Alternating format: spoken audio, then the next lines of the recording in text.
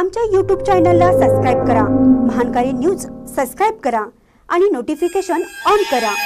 Notification on केल्यामुळे आमचे update आपल्यापर्यंत सतत पोहोचेल. जांभळीच्या सारे पाटील हायस्कूलच्या दहा जणींना राज्यपाल पुरस्कार. रामटेक येथे होणाऱ्या राष्ट्रपती पुरस्कारासाठी निवड. शिरोळ तालुक्यातील जांभळी येथील सारे पाटील हायस्कूलच्या दहा विद्यार्थिनींना राज्यपाल पुरस्कार मिळाला असून त्यांची आता राष्ट्रपती पुरस्कारासाठी निवड झाली आहे. भारत स्काउट्स अँड गाईड्स यांच्या वतीने राज्य प्रशिक्षण केंद्र सोनतळी कोल्हापूर येथे झालेल्या राज्य पुरस्कार स्पर्धेचा निकाल जाहीर झाला. या स्पर्धेत जांभळीच्या दहा विद्यार्थिनींना राज्यपाल पुरस्कार प्राप्त झाला आहे. यामध्ये कीर्ती यादव दिव्या कोळी संजीवनी कदम अंकिता मोरे ऋतुजा पाटील पूजा भोसले पायल नायकवडे संपदा शिंदे राजनंदिनी राऊत आणि सानिका मोरे यांचा समावेश आहे.